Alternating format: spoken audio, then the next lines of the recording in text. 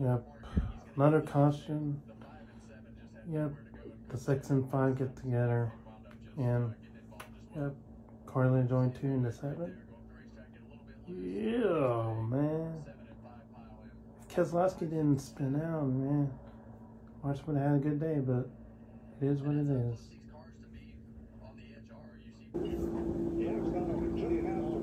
Oh boy. Car- Kyle Larson just spun out and turned straight forward and into the wall he goes.